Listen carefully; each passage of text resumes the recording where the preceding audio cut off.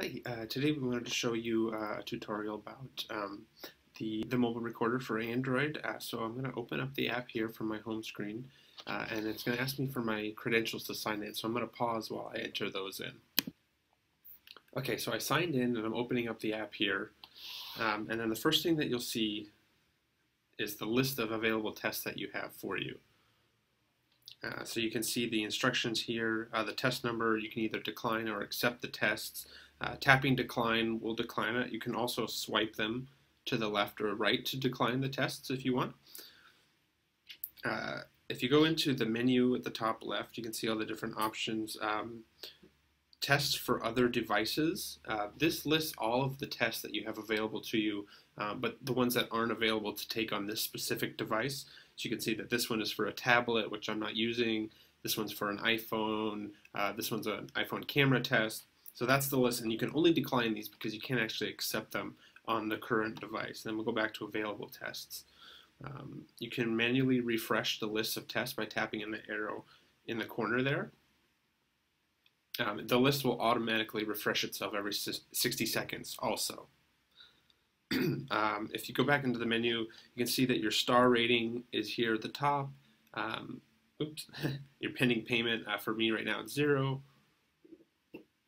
and then you can see your username um, and your and your name at the top also. Um, so right now we're going to actually go ahead and accept this test. Um, so it says to find a quiet, distraction-free place, which I've done. I'm going to speak my thoughts out loud, and I'm going to do my best to complete each task before I move on.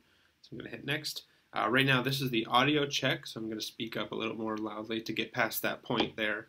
And then you can see once you make it past the little arrow, the next button will show up.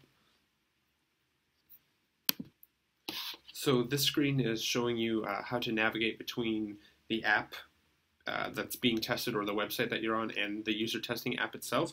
Um, since this, on most Samsung devices that have this hard home button, you can press and hold on that and that will bring up the list of recents like this. Um, and then, for example, if I was testing this Google page, I would tap on that and then I can get back to the UserTesting app by switching back and forth there. So then I'm actually going to go ahead and tap on start recording. It's going to count down. You can see at the top here, uh, the mic icon lights up when I'm talking louder. And this red line at the top here is actually indicates that I'm recording. And if I pause, you'll see that it turns blue and it says recording is paused. Um, and then if you hit that, it'll it'll uh, start recording again.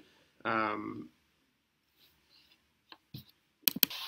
So now we're just going to kind of go through uh, taking the test. One, one thing that you should know is you can access the menu from within the test and you can actually use the um, view scenario and URL if, if you forget which site you're supposed to be testing or you can uh, report a problem from there as well.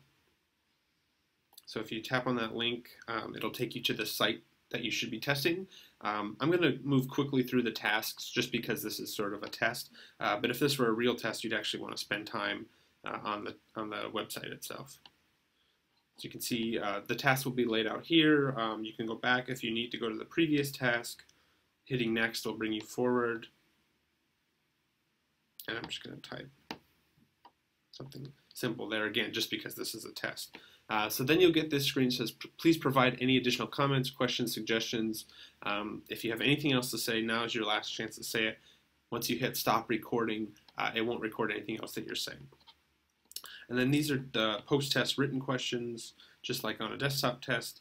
I'm just going to put high for all these. Again, just because this is a sample. Uh, and then as soon as you hit this done button, uh, the test will be done and your upload will start. You can see there's a little blue progress bar there that shows how fast it goes. Um, so this was a really short test, so it shouldn't really take that long to upload.